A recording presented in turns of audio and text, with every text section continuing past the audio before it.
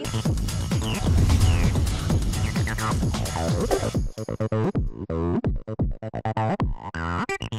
Na sessão plenária desta quarta-feira, os deputados votaram o projeto que proíbe no Estado a comercialização de cabos e fios de cobre e alumínio queimados. A proposta tem o objetivo de coibir o furto de cabos no Estado. De acordo com o projeto, para realizar o comércio desses produtos, será preciso ter laudo do Corpo de Bombeiros informando que os fios e cabos metálicos queimados estão assim por causa de incêndios. A proposta também é direcionada aos catadores de sucatas, recicladores, ferro-velhos e demais agentes envolvidos na cadeia da reciclagem. O texto do deputado Rosenberg Reis recebeu uma emenda dos parlamentares e retorna para a análise das comissões. Também analisada a proposta do deputado Samuel Malafaia, que trata da cobrança de couvert artístico em bares e restaurantes do Estado. O parlamentar quer que os estabelecimentos coloquem placas de fácil localização, informando aos clientes qual é o valor cobrado e os horários das apresentações. O projeto foi aprovado e segue para a análise do governador. O cover artístico é quando o, o, aquele local, né, restaurante, casa, oferece músico, oferece uma, uma atração. E aí a gente não sabe que você está lá, às vezes vai para uma reunião, vai com a família e paga um couvert, primeiro por cabeça, e é o preço que está lá.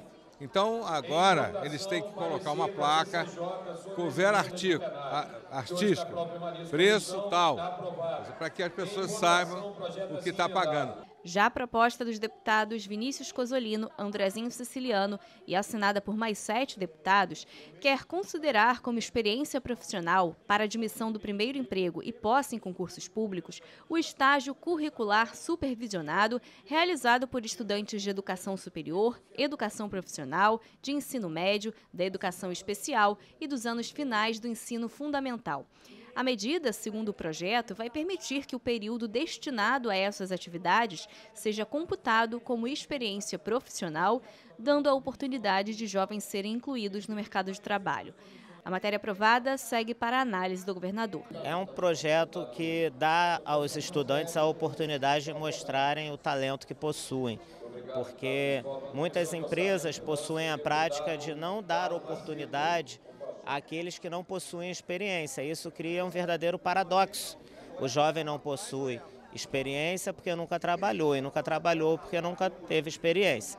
Então, esse projeto ele abre as portas, pelo menos do setor público, para que o jovem que tenha seu estágio curricular reconhecido pelas instituições é, conta em tempo nos concursos públicos, nos processos seletivos, enfim, é um projeto inclusivo que garante mais espaço para a juventude, que é o futuro do nosso país. Concessionárias de transportes públicos do Estado podem ser obrigadas a disponibilizarem nos guicheios de venda de passagens a opção de compra por cartão de crédito e débito. Ônibus BRT, trem, metrô, barcas e catamarãs estão incluídos nessa obrigatoriedade. Quem não cumprir a norma poderá ser multado em até 433 mil reais no caso de reincidência. Esse projeto do deputado Fábio Silva recebeu seis emendas dos parlamentares e retorna para análise das comissões técnicas. Um programa para fomentar e valorizar a atividade dos protetores de animais soltos e abandonados no Estado pode ser criado.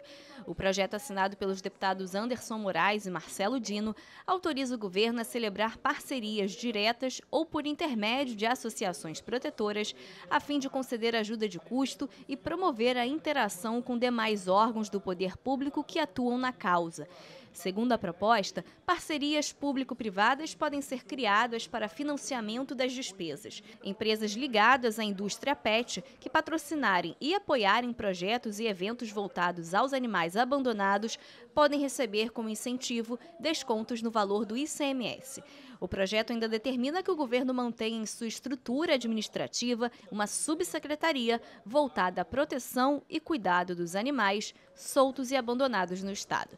O texto foi aprovado e segue para a segunda discussão. Esse projeto é para quê? Para auxiliar, para que o Estado venha auxiliar, ajudar essas pessoas que fazem às vezes um trabalho voluntário e não têm condições às vezes de manter da forma como gostaria.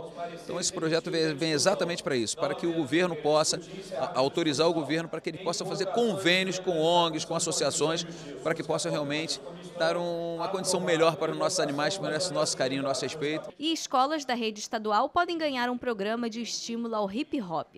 A ideia da proposta dos deputados Dani Monteiro e Andrezinho Siciliano é inserir elementos da cultura hip hop no dia a dia para estimular o interesse e produção de arte e cultura pelos estudantes. O projeto foi aprovado e retorna para mais uma votação em plenário. O hip hop hoje ele é o gênero que movimenta a nossa juventude, que faz a juventude olhar para si, para sua própria reflexão e olhar para o futuro. Então, o hip hop tem sido essa ferramenta e promovê-la dentro da escola, é promover um local de garantia de direitos protegida pelo ECA, tirar o hip hop do local da violência, da violação de direitos, da criminalidade, colocar onde ele deve estar da garantia de direitos. Então, a arte aliada à educação. E foi votado um projeto para alterar uma lei que trata de procedimentos para a realização de cirurgia plástica reparadora da mama. A proposta estende para mulheres vítimas de queimaduras o direito à cirurgia reconstrutiva da mama nos hospitais públicos estaduais e na rede conveniada ao Sistema Único de Saúde.